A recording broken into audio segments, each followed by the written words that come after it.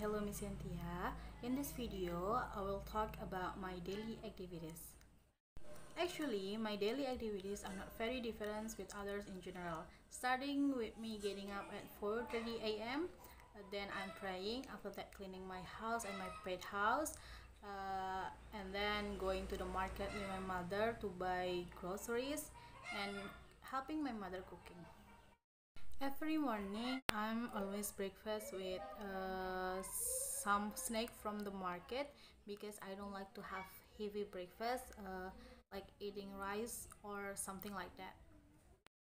If it weekdays, I continue with having a class and doing my assignments.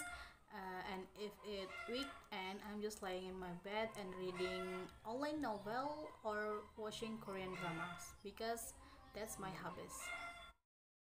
Not only I love Korean dramas, but I also love Korean idols and Korean songs.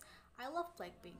Do you know about them? If you don't know, please find out and you will love them. Blackpink is one of Korean idols that I like. When they come back or release new songs, I'm really excited for them. That is my simple enthusiasm.